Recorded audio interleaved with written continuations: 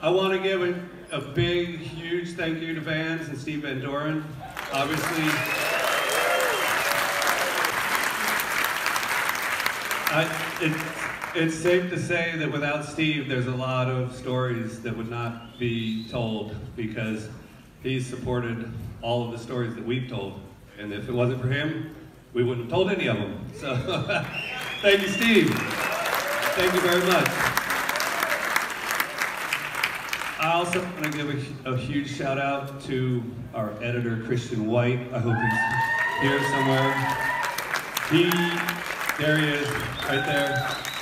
He donated several weeks and countless thousands of dollars in his rate being cut so that we could make this. He is safe to say without him, we would not have made this film. We're going to get started on our Q&A, so give it up for your moderator, Chris Nieratko!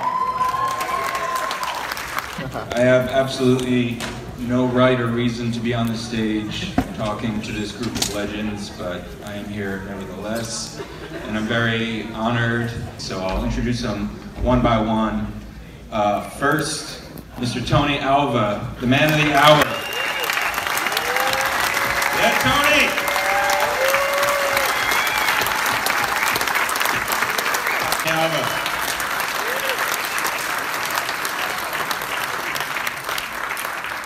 I'm gonna bring up Sixstair.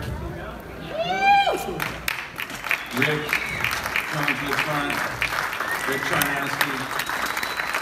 Coan, Buddy Nichols.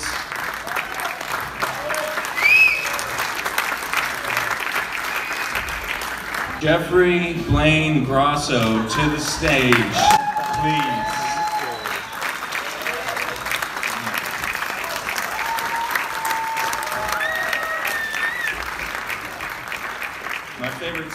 Child, my favorite human as an adult. I get no chair. Do I get a chair? I get a chair over there. One more round of applause for these guys, and I think we can all agree that was they fucking nailed it. Well, it is my story, and my story continues. You know, it's right in the moment right now is what's happening. You know, it's just like y'all are here, and this is the present, and the present is the present. So we're just taking it one more step. It's one day at a time. Um, when Grosso was talking about, you know, the transformation, you know, where you end up, you either end up in prison, dead, or insane. So the cool thing is we're here, we're pretty sane, relatively, and we're talking about a creative project, you know, a creative project that since I first saw it and was involved in it has evolved to something that's really, really cool. And uh, I think a lot of the, I mean, it's a team effort, but at the same time, a lot of the credit has to go to the editing because the most fantastic change that I've seen in this version of it I saw tonight was in the editing. Let's talk about how this thing turned from a sweet little love letter to this amazing piece that you guys created. Steve Van Doren birthday present to Tony Alva for his 60th birthday. 14 years said, late. And so that's how it started, and that was, what, you're almost, you're gonna be 62 in September, right?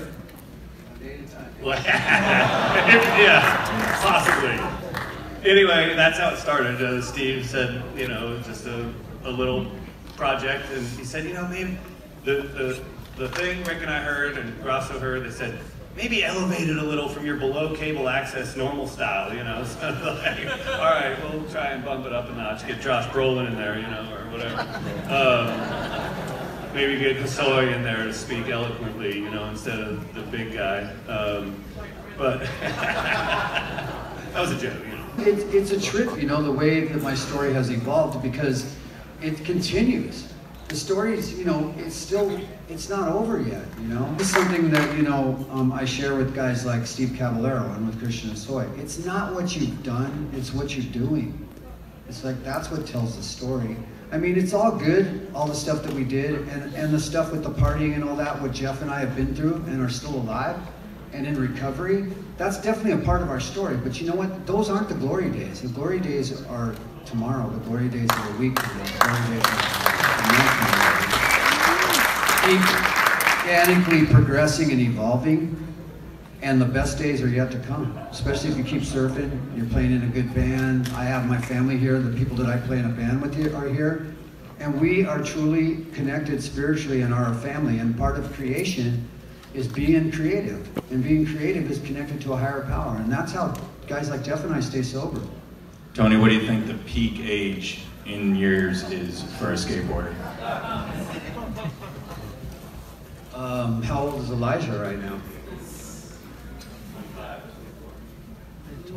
See, it's hard to tell. I, I would say that you could peak anywhere between 17 and probably mid 20s. But I think as technology has evolved, um, you know, in the future, I'm talking like kind of more into, I guess, during my heyday.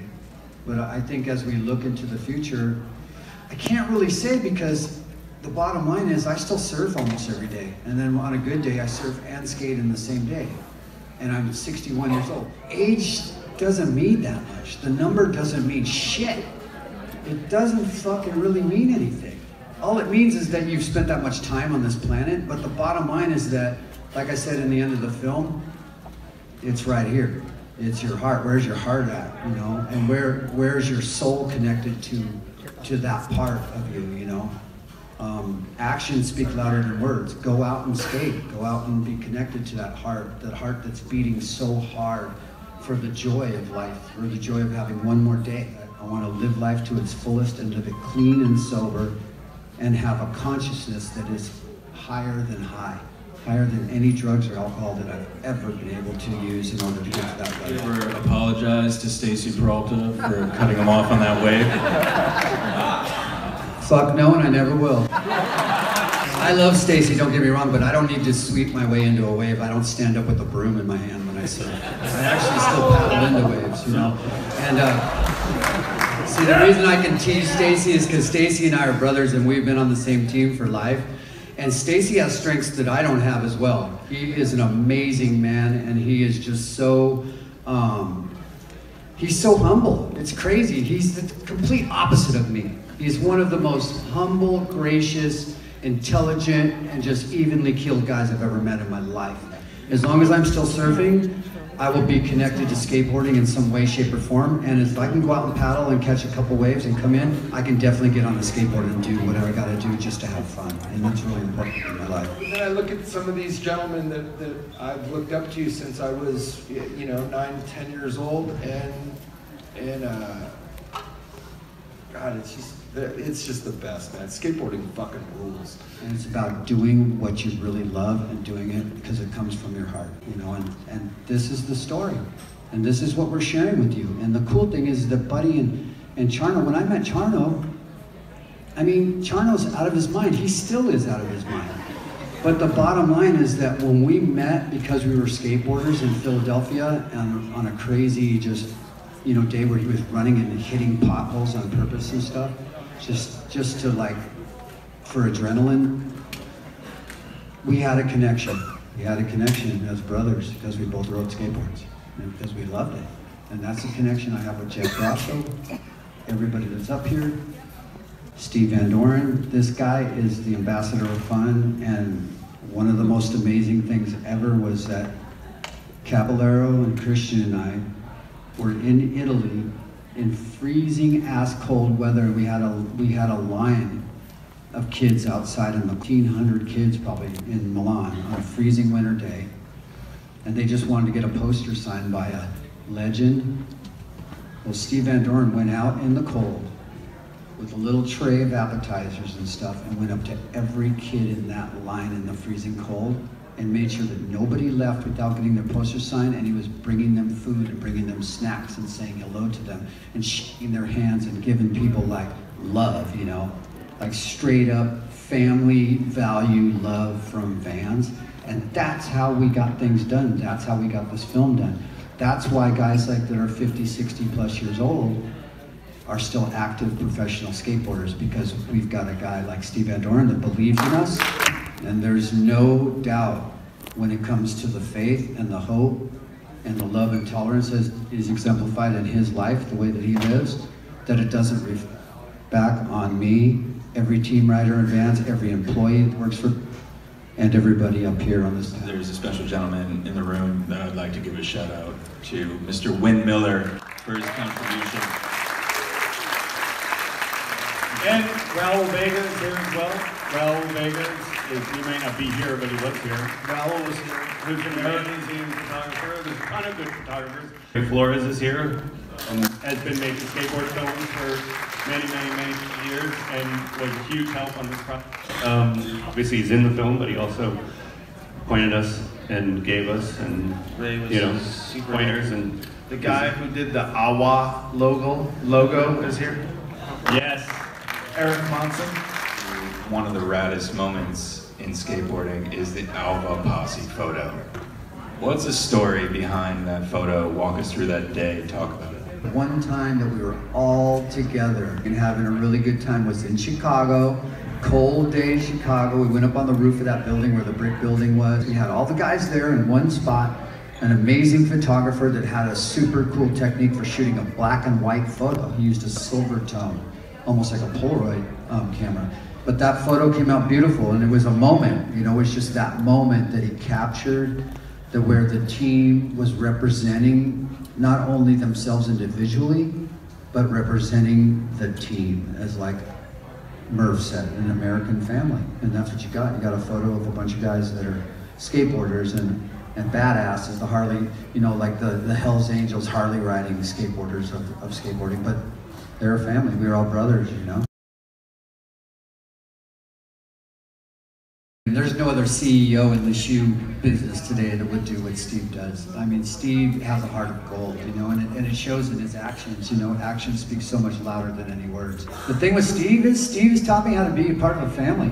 I've always been from dysfunctional families. Um, Steve's like a big brother to me, and he's a mentor to me. You know, he showed me like what it's like to really work hard and, and do it for the right reasons and be of service and then you know that that will come back to you in so many ways you know and that's what he showed me. Steve is like i'm family to steve. I wore my jacket tonight that says we're all Van Dorens and i'm proud to wear that jacket you know? It's just like wearing the zephyr shirt you know? I'm proud of that.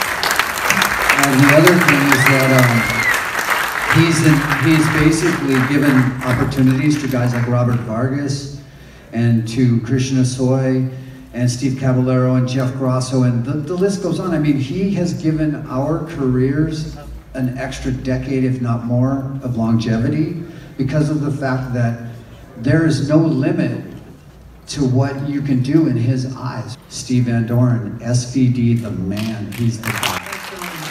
I have to thank you, everybody that's here, everybody here, because you, all the skateboarders, adopted us. My dad started in '66, and about '74, '75, Tony, Jay, Stacy were going into our stores and buying our shoes. And we started flowing some shoes. Tony would wear out one shoe, so if the shoes was six dollars, you can have that for three bucks, no problem. Eventually, we started giving the shoes to him, but because of the skaters, we're here in 2019, being able to be a company that my dad started. He's 88. He just went on a trip with me over to Europe for the first time, with uh, having a great time and taking him over there so he can meet people. But it's because of watching Tony, Steve, Christian, all of our riders all these years take the time and sign autographs and say hi to kids one on one.